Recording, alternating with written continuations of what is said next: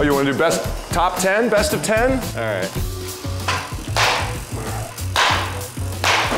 All right.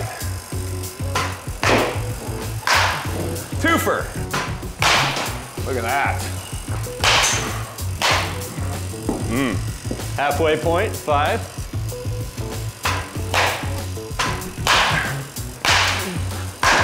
Hmm, five for five. Quality. Rooked.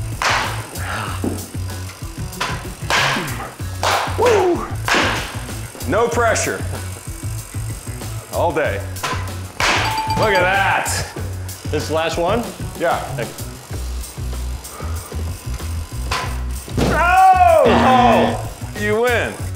Nicely done. All right, so you uh, play baseball still today, right? Huh? Yeah, I play on a team here in LA, but I'm uh, I'm by far the worst person on the team. Really? Oh yeah, I'm But how? one you of the were oldest. Oh, Just- I don't play that often. It's what's not, it's the not like riding difference? a bike. You don't. Oh, and the guys in their late 20s and you know a lot closer to being athletically viable than I am. What position do you play? First base. First Yeah, I don't play okay. catcher anymore. It's too too debilitating at a certain point to, to get your all that gear on in the summertime in LA. It's, Yeah.